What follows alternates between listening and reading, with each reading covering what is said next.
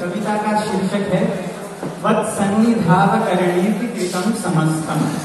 वत्सन्निधो अकरणेति समस्तम कृतम यह शीर्षक है।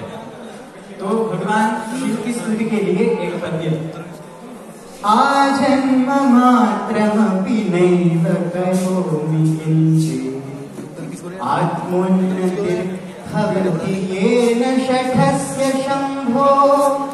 आजन्म मात्रमपि नैव करोमि किञ्चित् आत्मोन्नतिर्भवति येन शठस्य शम्भो कार्यं विनैव जननं खलु कारणस्य। कार्यं विनैव जननं खलु कारणस्य। वत्सन्निधावकरणेऽपि कृतं समस्तम् कृतं समस्तम् एक श्लोक है जो गुरु की स्तुति पर बनाया है। कामादिशत्रुनिचयेन निपीड्यमाने वेदान्तवाक्यचरितार्थमसेवमाने कामादिशत्रुनिचयेन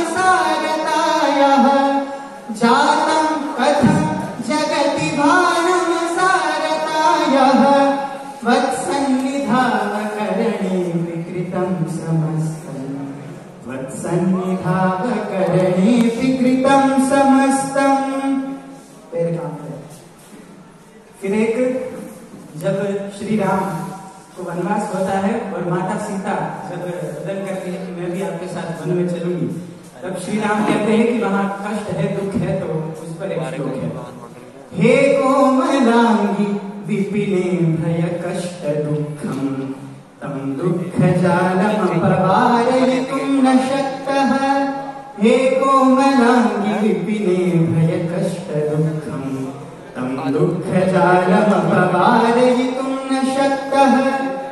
फिर सीता जी कहती है किम राम सन्निधि सुखाजनिका कदापि किम राम सन्निधि सुखाजनिका कदापि त्वत्सन्निधावकरणे विकृतं समस्तम्। त्वत्सन्निधावकरणे विकृतं समस्तम् अब कृष्ण और अर्जुन का सम्मान है।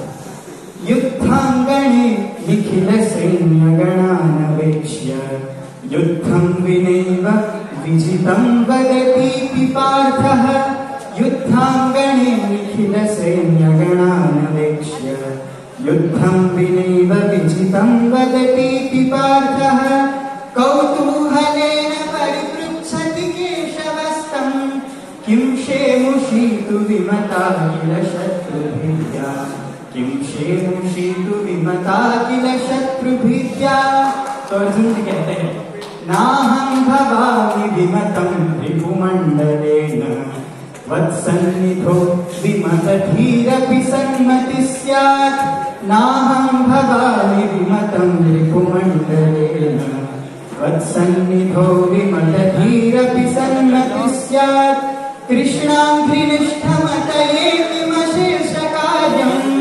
कृष्णाङ्घ्रिनिष्ठमतये किमशेषकार्यम् वत्सन्निधावकरणे